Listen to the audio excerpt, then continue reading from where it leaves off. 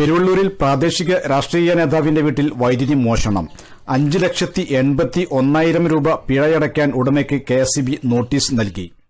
K S B Chelari section കീഴിലെ ഗുണഭോക്താവായ പെരുവള്ളൂർ കാടപ്പടി സ്വദേശി ചൊക്ലി അബ്ദുൽ മജീദാണ് വൈദ്യുതി മോഷണം നടത്തിയതെന്നാണ് കെ എസ് ബി അധികൃതരിൽ നിന്നും ലഭിച്ച വിവരം.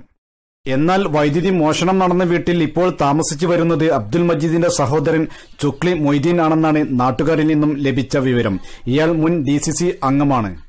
വീടിന്റെ കണക്ഷൻ അബ്ദുൽ മജീദിന്റെ പേരിലായതിനാലാണ് കെ എസ് ബി അബ്ദുൽ മജീദിനെതിരെ നടപടിയെടുത്തത്. അഞ്ച് ലക്ഷത്തി എൺപത്തി ഒന്നായിരം രൂപ പിഴ അടക്കണമെന്ന് കാണിച്ചാണ് ഇയാൾക്ക് കെ എസ് ബി നോട്ടീസ് നൽകിയത്. ഇരുപത്തിനാല് മണിക്കൂറിനുള്ളിൽ പിഴ അടക്കണമെന്നാവശ്യപ്പെട്ട് നോട്ടീസ് നൽകിയ കെ എസ് ബി വീട്ടിലെ വൈദ്യുതി ബന്ധം പൂർണമായും വിച്ഛേദിച്ചു.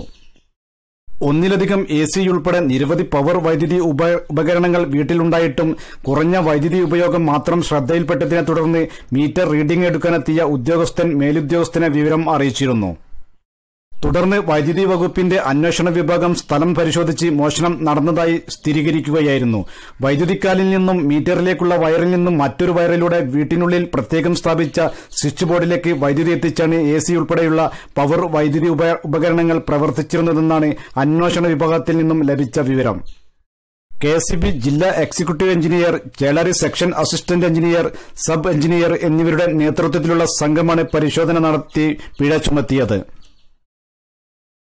പ്രാദേശിക വാർത്തകൾ വേഗത്തിലറിയാൻ ഈ ചാനൽ നിങ്ങൾ സബ്സ്ക്രൈബ് ചെയ്ത് ബെൽ ബട്ടൺ അമർത്തുക.